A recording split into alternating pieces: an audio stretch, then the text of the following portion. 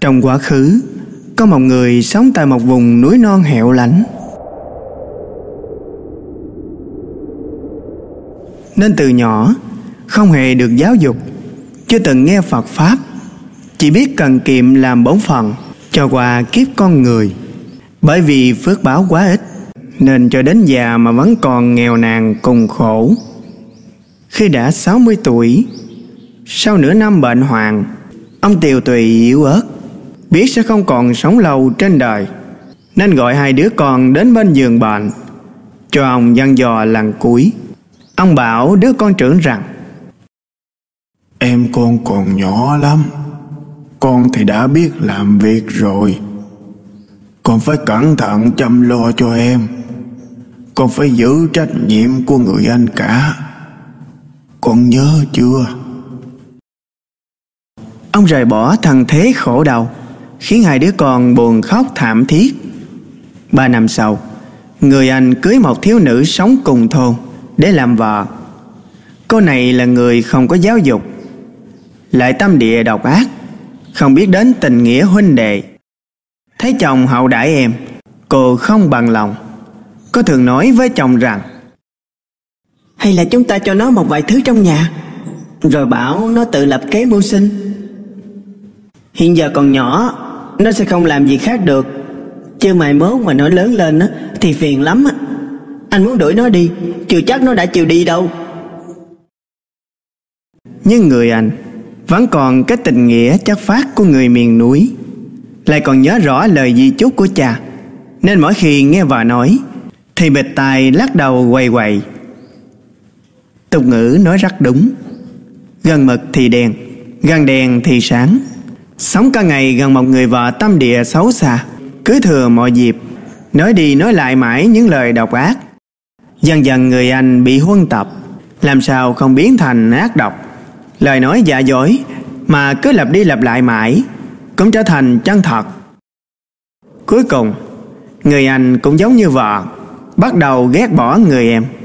Một hôm, Người anh nghe lời của vợ, Đem người em tới nghĩa địa rất xa thành phố đó là một nơi rất ghê tởm vì theo tập tục Ấn Độ, người chết đi thì đem tử thi vứt vào đáy cho chim chóc thú vật tới mỏ rỉa mà ăn.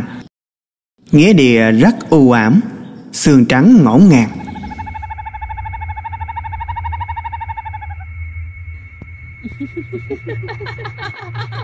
Luôn luôn có tiếng chim kêu thê lương như tiếng quỷ khóc trong địa ngục.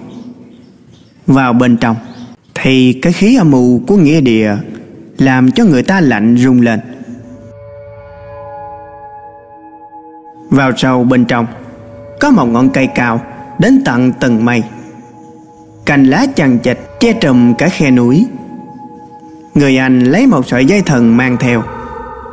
Trói thúc người em lại, rồi treo lên một cành cây to. Vừa trói vừa bảo em Không phải anh tàn nhẫn đâu.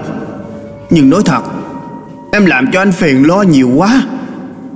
Em hãy ở đây suy nghĩ cho kỹ. Anh có nói đúng không? Chừng vài bữa nữa, Anh tới đón em về. Vậy nha. Người anh quay đầu chạy mau trở về nhà. Không màng tới tiếng kêu vang xin bi thảm của em. Thật ra, Người anh rất mâu thuẫn Lòng thương em rất mật đã bị bà vợ dùng giọng nói nét mặt nghiêm khắc, đàn áp xuống.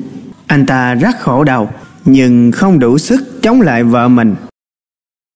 Thôi, để cho nó đánh cuộc với định mệnh xem sao. Nếu nó thoát được miền hổ làng, thì đó là nó có phúc báo. Còn nếu không, thì coi như là số của nó đã định như vậy. Ta đối với nó như thế, đã là từ bi lắm rồi. Thay vì nghe lời vợ, cầm dao giết nó trên đường về, người anh nghĩ như thế để tự trấn an mình. Trời dần dần tối, trong màn đêm đen kịch, tiếng chim kêu thảm khóc.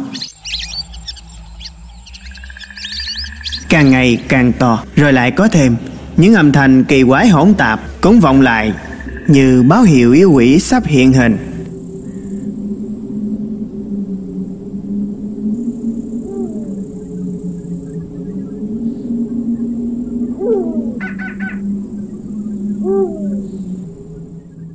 Hổ, báo, sư tử, chó sói cũng lục tục kêu đến, rống lên từng hồi như muốn hớp hết hồn phách của người ta. Những tia mắt xanh lè, tham lam hung ác, đổ dồn về phía gốc cây cổ thụ. Trên cây, người em cố hết sức dãy dụa khóc là. Cứu tôi với! Trời ơi! Thần Thánh ơi! Cứu tôi với! Cứu tôi với! Nó là hét như một người điên cho đến nỗi máu tươi từ trong miệng trào ra.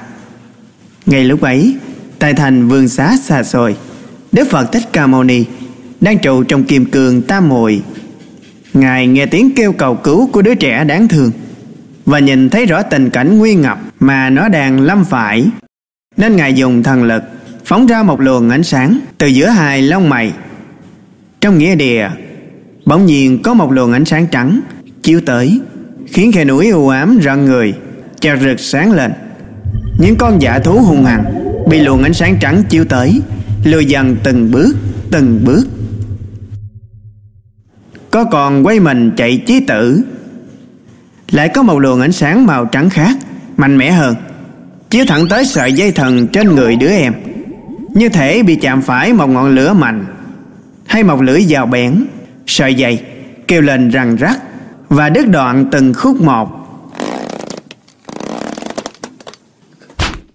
Tiếp theo, Lại có một luồng ánh sáng trắng thứ ba, Dịu dàng chiếu lên thần đứa em. Nó như bị tê liệt, Rơi xuống đất. Đào đớn nhức nhối ngắt liềm đi.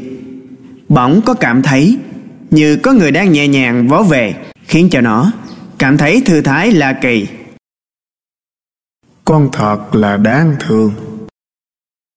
Một giọng nói dịu dàng từ ái vang lên. Nó tỉnh lại Và có một cảm giác lạ lùng Khiến bao nhiêu đau đớn trong người tàn biến hết. Ngẩng đầu lên nhìn Nó thấy một người cao lớn trang nghiêm Đang đứng trước mặt nó. Người ấy là hiền từ nhìn nó mỉm cười. Kinh ngạc quá độ Nó ấp úng Không biết nói gì.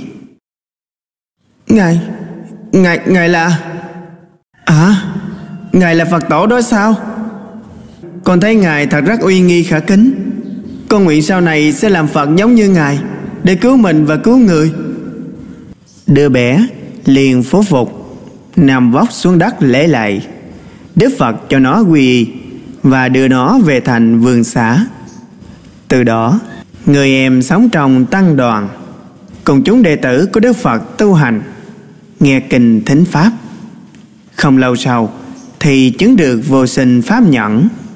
Người em chứng đạo rồi, Nhờ đến anh mình, Liền đến trước Đức Phật, Bạch rằng, Bạch Thế Tôn, Anh con, Tuy đã có lòng ám hại con, Nhưng nhờ thế Mà con được gặp Phật Và được Phật cứu độ. Như vậy, Thành tựu hôm nay của con Là nhờ anh con mà có. Này con muốn về hóa độ cho anh ấy. Nên con xin phép Thế Tôn cho con vắng mặt một thời gian. Rất tốt Ta rất ngợi khen suy nghĩ đó của con. Người em bèn dùng thần thông bay về nhà của anh. Bà chị dâu thấy được Vội vàng chạy vào nhà trốn. Bà tưởng rằng người em Đã bị hại Nhưng không chết. Nên nay trở về báo thù. Nhưng người em đã gọi lớn. Anh chị ơi Em không oán hận anh chị chút nào cả Mà còn muốn tạ ơn anh chị nữa. Nhờ anh chị mà em gặp được ân sư Là Đức Phật Chứng được quả vị Thoát khỏi sinh tử. Nay em đặc biệt trở về đây Để cảm ơn anh chị. Em cũng hy vọng Là anh chị có thể tu học theo Phật Pháp Để thoát khổ. Tài sản, của cải cho đến tính mạng của chúng ta Trên thế giới này Đều là vô thường. Nếu làm đủ cách để truy cầu thì dẫu có được đi chăng nữa, Cũng có ngày Chúng sẽ bỏ chúng ta mà đi. Anh chị suy nghĩ kỹ xem, Có gì thật sự thuộc về chúng ta đâu. Hãy bỏ chúng đi, Lấy cái tâm tưởng và tinh lực Để tìm cầu chúng Dành cho việc truy cầu Phật Pháp. Vì đó mới là kho tàng chân chính.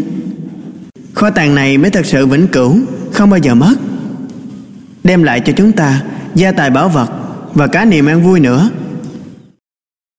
Những lời nói ấy làm cho vợ chồng người anh như bừng tỉnh mộng, nhất là lòng khoan dung độ lượng của người em đã không oán trách lỗi lầm xưa, mà còn lo nghĩ tới niềm hạnh phúc an lạc của họ nữa. Đó chính là sức mạnh đã giúp họ can đảm sám hối tội lỗi đã làm, chỉnh đốn việc gia đình nhà cửa xong xuôi. Cả bà cùng sánh vai nhau, tiến về hướng tình xá trúc lâm và từ đó, họ trở thành những đệ tử tình truyền nhất của phật đà.